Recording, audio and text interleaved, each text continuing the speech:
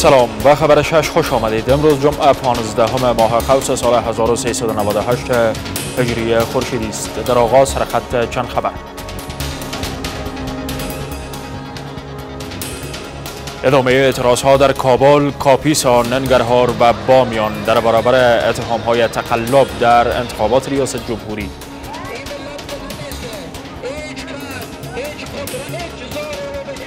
در برابر تقلب محکم میستیم کمیسیون دوباره به مسیر اصلی خود برنگرده این اعتراضات گسترده‌تر خواهد شد. متهم شدن حکومت به بیپروایی در معرفی نامزد وزیران برای گرفتن رای به مجلس نمایندگان. سرپرست وزیران چې دي دا په یو شکل نه د ملت کور ته او نه ملت ته ځواب دي او دوی غواړي چې د دغه موقع نه سوء استفاده وکړي او هر څه چې زړه وي هغه وکړي شکایت شمار از شهروندان کشور از کاهش در توزیع ویزه پاکستان. پنج سال است که من میرم میاییم. در پنج سال این همیشه این میتا بدبختی داریم این میتا گرفتار هستیم. اینا این موضوع را باید رعایت کنن.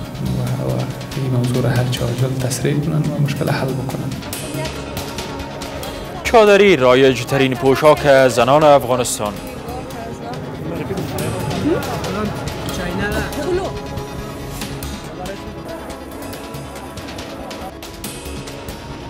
و نگرانی امریکا از احتمال جان باختن بیش از یک هزار معترض در ایران.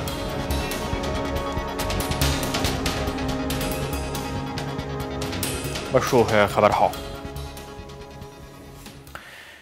گلبودین حکمتیار می‌گوید که انتخابات ریاست جمهوری در دور نخست برنده ندارد و برای برگزاری دور دومین انتخابات باید یک حکومت موقت ایجاد شود. این نامزد انتخابات ریاست جمهوری که با شمار از هوادارانش نخستین تظاهرات این دسته انتخاباتی را در برابر اتهامهای تقلب در انتخابات برگزار کرد. می‌گوید که حزب اسلامی و شمار از احزاب دیگر تصمیم گرفتند تا به هیچ کس اجازه رسیدن به کرسی ریاست جمهوری را با استفاده از تقلب ندهند در همین حال هواداران دسته انتخاباتی عبدالله عبدالله در ادامه اعتراضاتشان امروز در ولایت‌های کاپیسان، انگرهار و بامیان دست به تظاهرات زدند. مسعود انصار گزارش می‌دهد. گلبدین حکمتیار یکی از نامزدان انتخابات ریاست جمهوری می‌گوید که بیش از یک میلیون دوصد هزار رای تقلبی در همکاری با کمیسیون مستقل انتخابات به سود دسته انتخاباتی اشرف غنی استفاده شده است. ما چند حزب سیاسی تاثیرگذار و نیرومند چند تیم انتخابات هم تعهد کردیم که در برابر تقلب محکم میستیم رئیس جمهوری که از طریق تقلب و رشوت و خیانت برای مردم تعمیر شود هرگز نمیپذیریم آقای حکمتیار پس از سخنرانی در اقامتگاهش همراه با هوادارانش در جاده دارالامان راه پیمایی کردند. دامنه تقلبات و جرمهای سازمانی یافته انتخاباتی آنچنان گسترده و بزرگ است کشور را در آستانه یک بحران جدی و مهار ناشدنی قرار داده است در همین حال شماری از هواداران دسته انتخاباتی عبدالله عبدالله در ادامه اعتراضاتشان در شماری از ولایت ها این بار در کاپیسا و جاده ها ریختند. کمیسیون دوباره به مسیر اصلی خود برنگرده این اعتراضات گسترده‌تر خواهد شد و ما مردم افغانستان انشاءالله از تمام حقوق مدنیشان که در قانون برشان پیش بینی شده به خاطر استاد شدن علیه تقلب استفاده کنیم. هواداران دسته انتخاباتی عبدالله در ولایت های ننگرهار و بامیان نیز دست به اعتراضات زدند. د بایومتریک شویو رایو په نتیجه کې چې هر چا وګټله که ډاکټر صاحب عبدالله او که ډاکټر صاحب خلیو زمونږ رئیس جمهور دی موږ ورته لبیک وایو با این هم دسته انتخاباتی آقای حکمتیار در قطعنامه خواهان ایجاد یک هیئت قضایی بیطرف به خاطر بررسی آنچه که آنها تقلب در روند انتخابات می‌گویند شدند. منابع آگاه از گفتگوهای صلح بگویند که زلمه خلیلزاد بعد دوحه رسیده و قرار است به زودی گفتگوهای رسمی امریکا با طالبان آغاز شوند. این منابع میافزند که آقای خلیلزاد در دیدارش با چهره های سیاسی از جمله حامد کرزی رئیس جمهور پیشین در کابل گفته که طالبان پس از امضای توافقنامه با امریکا خشونت ها را کاهش خواهند داد. حسیبه تکپال گزارش می‌دهد. شماری از شرکت کنندگان نشست حامد کرزی رئیس جمهور پیشین با فرستادی ویژه ایالات متحده برای صلح افغانستان می‌گویند که زلمه خلیلزاد از کاهش خشونت ها پس از توافق صلح با طالبان خبر داد. کوشش می‌کنه که در مذاکره به توافق به بکنن که کاهش به موسط آخرش پایین بیه. دو که مسئله بسیار مهم است.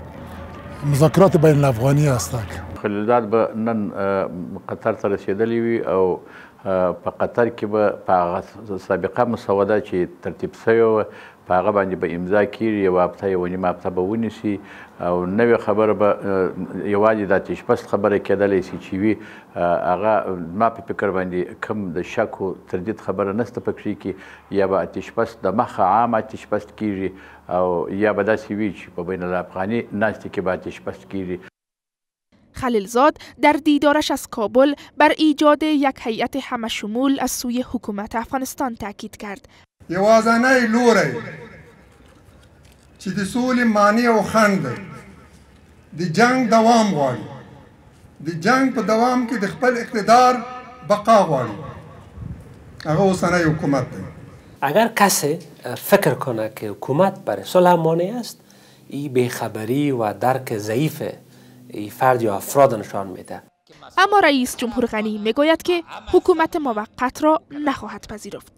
آمده بودن می‌گفتن خودت باش هر چند سالی که میخوایی. اما یک حکومت موقت جور کن. ماده چهارم قرارداد اساسی نخواندین اراده ملت است. پس از آنکه دونالد ترامپ رئیس جمهور ایالات متحده در ماه سپتامبر روند گفتگوهای نزدیک به یک ساله زلمه خلیلزاد با طالبان را در واکنش به آنچه که بیپروایی طالبان به کاهش خشونت ها گفته می‌شد متوقف کرد این نخستین باری خواهد بود که این گفتگوها از سر گرفته می شود. ادامه اداره شدن در حدود 20 وزارت و ریاست سوی سرپرستان با انتقاد تند شماره از اعضای مجلس نمایندگان روبرو شده. این اعضای مجلس نمایندگان می‌گویند که این کار افزون بر این که بر حکومت داری اثرهای بد گذاشته سبب شده تا مسئولان این نهادها به شورای ملی نیز چنان که لازم است پاسخگو نباشند. مسعود انصار گزارش می‌دهد. دوره قانونی حکومت وحدت ملی به پایان رسیده است. اما معضل سرپرستی در این حکومت با گذشت بیش از پنج سال تا کنون حل نشده است. وزرای داریم که در حدود چهار سال میشه سرپرست هستند. ما جلسه هم که با رئیس جمهور داشتیم گفتیم هر رو هر رقم شما وزرا رو معرفی کنیم مطابق قانون یک روز هم که کار می‌کنن باید معرفی شوند برای مجلس. رئیس جمهور بیشتر این سرپرستان را همچون نامزد وزیر معرفی کرده است. دغه اوس سرپرست وزیران چې دي؟ دا په یو شکل نه د ملت کور ته او نه ملت ته ځواب دي او دی غواړي چې دغه موقع نه سو استفاده وکړي او هر څه چې زړه وي هغه وکړي. شماری از آگاهان می‌گویند که وجود اختلاف ها میان رهبران حکومت نبود یک پارلمان فعال و نیز امتیازگیری های سیاسی و انتخاباتی از علت های ادامه سرپرستی ها در نهادهای حکومتی هستند. یک وزیر که انتخاب میشه یا باید از طرف گروپ سرمایه‌دارا حمایت شود یا از از طرف یکی از قدرتمندهای سیاسی. حکومت درباره اینکه چه زمان نامزد وزیران برای گرفتن رأی اعتماد به مجلس نمایندگان معرفی خواهند شد پاسخ روشن نمی‌دهد. اصل تفکیک قوا تفاهم تعامل و همکاری نزدیک میان قوای سلاسه مبتنی بر منافع ملی و مسائل اولیای کشور از اصول بنیادین دولت جمهوری اسلامی افغانستان پنداشته می شود. در کنار وزارت های دفاع ملی امور داخله ریاست عمومی امنیت ملی امور خارجه مالیه معادن و پترولیم اطلاعات و فرهنگ تجارت و صنایع و در حدود ده وزارت و ریاست بزرگ دیگر از سوی سرپرستان و نامزد وزیران اداره می شوند کاهش در توزیع ویزا سوی سفارت پاکستان در کابل با انتقادهای روبرو شده. شمار از درخواست کنندگان ویزه پاکستان می‌گویند که شبها و روزها برای گرفتن ویزا انتظار می‌کشند اما سفارت پاکستان در کابل تنها به بیماران و کسانی که پول بدهند ویزا می‌دهد. سفیر پاکستان در کابل می‌گوید که در نه ماه گذشته برای 450 هزار تن ویزا داده شده و فساد در بیرون سفارت پاکستان وجود دارد. خالد نیکزاد گزارش می‌دهد. در پی تنشها میان کابل و اسلام آباد درخواست کنندگان ویزای پاکستان اینجا در برابر سفارت این کشور در کابل با مشکلات روبرو شدهاند. آنان می‌گویند که هرچند روزها انتظار می‌کشند اما تنها برای کسانی ویزا داده می شود که پول بدهند.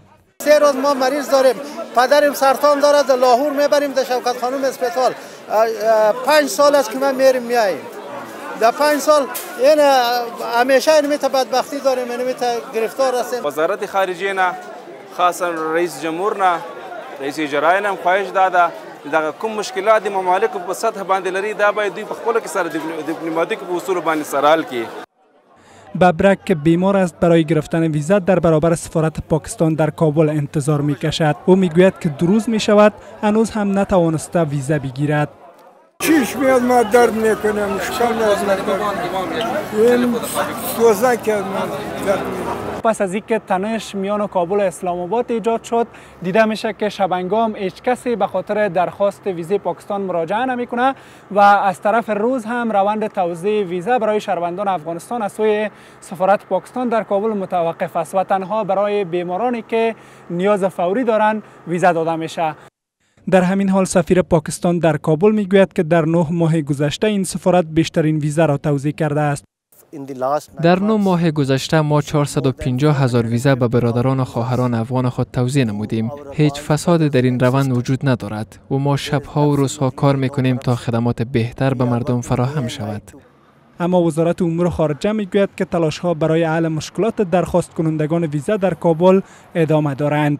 وزارت خارجه این موضوع را به مراتب در مجالس رسمی و هم ذکر کرده تا توجه دولت پاکستان این زمینه داشته باشه و این مشکل حل بکنه پس از پخش گزارش ها درباره آزار و اذیت شدن دیپلمات های پاکستانی در کابل و نیز احضار شدن سفیر افغانستان از سوی رئیس استخبارات نظامی پاکستان در اسلام آباد روند توزیع ویزاها به شهروندان افغانستان در کابل کمرنگ شده است. چادری هنوز هم رایج ترین پوشاک زنان در مکانهای عمومی در افغانستان است. بر بنیاد یافته های نظرسنجی سالانه بنیاد آسیا 32 درصد شهروندان افغانستان چادری را که پیشینه چندین ساله در این کشور دارد نسبت به دیگر پوشاک ها ترجیح دادند. اما برخی از فعالان عرصه حقوق زن می‌گویند که در برخی موارد پوشیدن چادری اجباری است و وضعیت نابسامان امنیتی در افغانستان رسم و رواجها و فشارهای خانوادگی نیز از علتهایی هستند که زنان ناگزیر می‌شوند تا چادری بر سر کنند. زهرا رحیمی گزارش می‌دهد.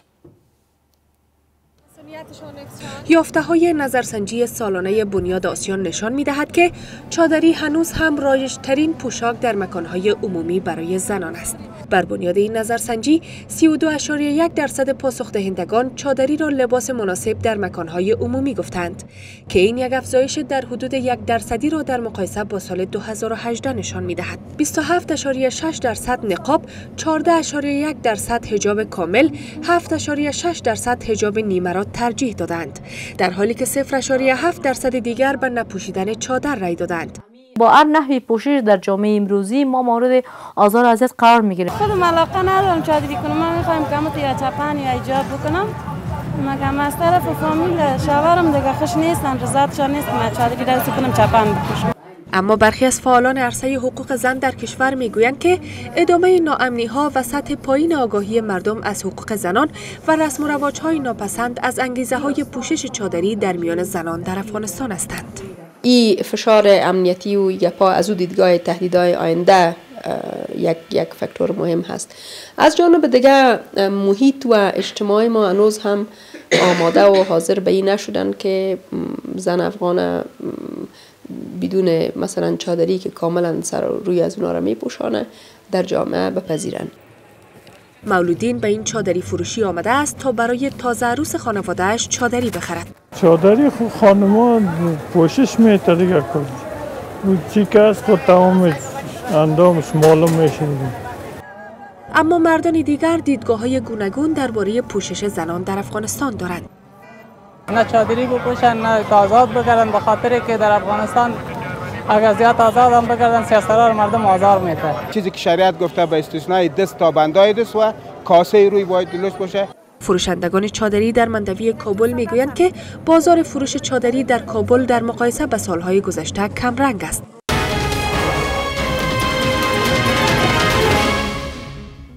ادامه خبرها. فرستاده ویژه امریکا برای ایران می‌گوید که شاید نیروهای امنیتی ایران بیش از یک هزار معترض را در جریان اعتراضهای اخیر در این کشور کشته باشند. برایان هوک می‌گوید که در اعتراضهای اخیر ایران بیش از هفت هزار تن بازداشت شدند. اما سخنگوی وزارت خارجه ایران امریکا را به مداخله در امور کشورهای دیگر متهم می سازد. در حالی که تهران واشنگتن را به راه اندازی اعتراضهای اخیر در ایران دخیل می داند، اما فرستاده ویژه امریکا برای ایران می گوید که شاید در اعتراضهای اخیر ایران بیش از یک هزار تن از شهروندان این کشور جان باخته باشند. این مقام امریکایی می گوید که حکومت ایران بیش از هفت هزار تن دیگر را در اعتراضهای اخیر زندانی کرده است. We have seen reports of many hundreds more killed ما گزارش های را دیده ایم که نشان می دهند صدها تن در حومه شهر تهران جان باختند. به نظر می رسد که رژیم ایران از آغاز اعتراض ها بیش از یک هزار تن را کشته باشد. اما کاملا مطمئن نیستیم زیرا رژیم ایران تمامی اطلاعات را پنهان نگه داشته است. اما ایران همواره این گفته ها را رد کرده است. سخنگوی وزارت خارجه ایران که امریکا را به دخالت در امور کشورهای دیگر متهم می سازد می گوید که تجاوز امریکا در کشورهای دیگر به یک اصل در سیاست خارجی این کشور مبدل شده است. دیروز حسن روحانی رئیس جمهور ایران گفت که اعتراضهای اخیر در این کشور با دخالت کشورهای دیگر دو سال پیش برنامه ریزی شده بود. چند گزارش کوتاه از جهان نیروهای پلیس هند صبح امروز چهار مرد متهم به تجاوز به یک زن 28 ساله را در شهر حیدرآباد با شلیک گلوله کشتند. این متهمان 20 تا 28 ساله بودند و به گفته پلیس هنگامی کشته شدند که می‌خواستند با گرفتن جنگ افزارهای پلیس فرار نمایند. شمار قربانیان سیلاب های اخیر و فرو ریختن ساختمان ها در نایروبی پایتخت کنیا به 140 تن رسیده است. این سیلاب ها زیان های مالی را نیز برجا ماندند و گروه های مددرسان با چرخبال ها در تلاش کمک به آسیب دیدگان این رویداد هستند.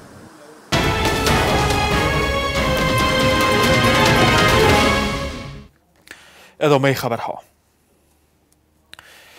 شمار از مشترکان شرکت های مخابراتی و شمار از آگاهان بخش فناوری به کارشنر سامانه ریال تایم را با کاستی های موجود در جلوگیری از حیف میل درآمدهای 10 درصد مالیات بر خدمات مخابراتی سودمند نمی‌دانند. آنان می‌گویند تا کنون بخش اساسی سامانه real time که می تواند پنهانکاری های شرکت های مخابراتی را در بخش درآمدها جستجو کند به کار نشده.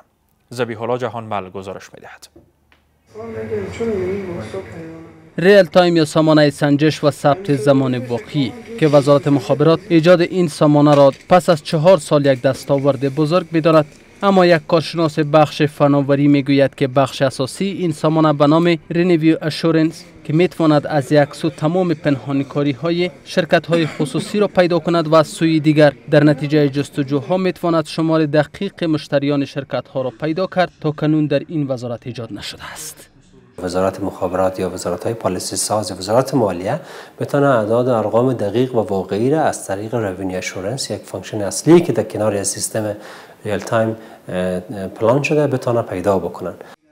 از سوی هم در سامانه سنجش و ثبت زمان واقعی یا real time که تا کنون در وزارت مخابرات به کار شده است نارسایی های در بخش ثبت سیم کارت های پس پرداخت و پیوند شدن این سامانه تنها به یک شرکت کوچک دولتی از مشکلات در این بخش هستند. credit و یا پولی را که از ما می‌گیره دولت برای ما تا حال اصلا یک مرجع و منبع واضح را نساخته که ما بفهمیم که در کجا مصرف می شود شرکت های اتصالات و افغان بیسیم قرار است که تا یکی دو هفته آینده از لحاظ اتصال یا connectivity با سیستم تی وصل شود. در حدود چهار سال پیش با وضع شدن 10 درصد مالیات بر خدمات مخابراتی ایجاد سامانه real time به گونه حقیقی که نظارت حکومت را از شرکت های گردآورنده این مالیات فراهم می ساخت از شرایط اساسی برای مدیریت این درآمدها بوده است.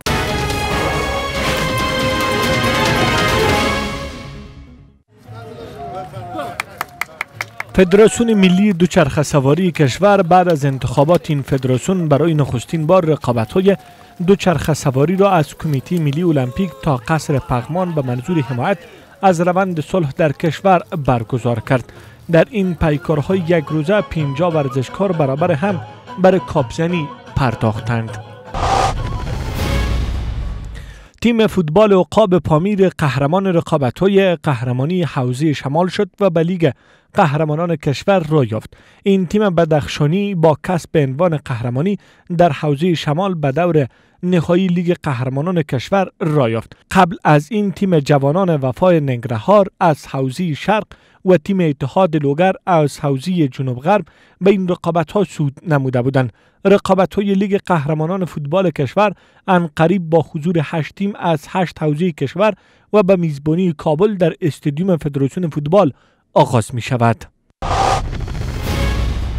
میلی پوشان ولچر بسکتبال کشور در بخش مردان و بانوان نتوانستند کسب سهمیه رقابت های المپیک سال 2020 ژاپن را به دست بیاورد. میلی پوشان ولچر بسکتبال کشور در بخش مردان پنج بازی انجام دادند که سه شکست و دو پیروزی برابر تیم های هند و اندونزیا به دست آوردند. همچنان میلی پوشان کشور در بخش بانوان نیز سه شکست و دو پیروزی برابر هند و کمبودیا کسب کردند و به این اساس نتوانستند سهمیه رقابت های پارا المپیک سال 2020 توکیو را به دست بیاورند. آرسنال در ادامه رقابت های لیگ برتر فوتبال انگلستان برابر برایتون شکست خورد. شاگردان فدریک دیدار خانگی برابر برایتون را با نتیجه دو یک واگذار کردند تا نتوانند بر روند ضعیفشان پایان دهند. با این شکست آرسنال 19 امتیازی باقی ماند و در جایگاه دهم جدول لیگ برتر انگلستان جا گرفت. برای آگاه شدن از تازه ترین خبرهای افغانستان و جهان و چهار پنج شش تماس و سپس کلید یک را دوباره. وقت